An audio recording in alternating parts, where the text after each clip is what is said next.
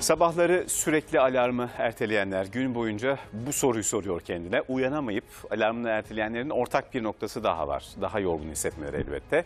Nedenine gelince. Bilimsel bir açıklaması var bunun ve çaresi de. Peki bu uyanamama halinden kurtulmak için ne yapmak gerekiyor?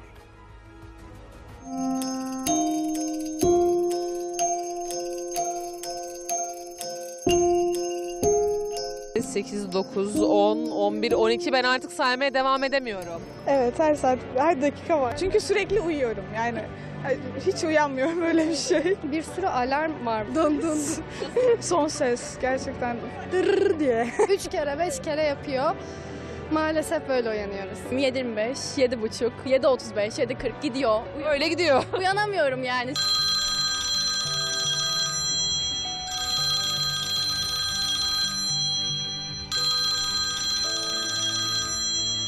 Defalarca erteliyoruz. Her sabah telefonumuzda en az böyle 5-6 tane alarm oluyor ve onları erteleye erteleye uyanmak için adeta cebelleşiyoruz. İşte bu erteleme bizi sabahları psikolojik olarak mutsuz ettiği gibi sağlığımıza da zarar veriyor. birdenbire ani bir uyku kesintisi, hızlı bir stres hormonu artışı, çarpıntılar meydana geliyor, ani tansiyon yükselmeleri meydana geliyor. Ben uyanmıyorum, tüm ev halkı uyanıyor. Annem uyanıyor, babam uyanıyor, kardeşim uyanıyor. Ben hala uyuyor oluyorum. 9 alarm kurdum. 7.sinde uyandım. Zilin sesi çok şiddetli.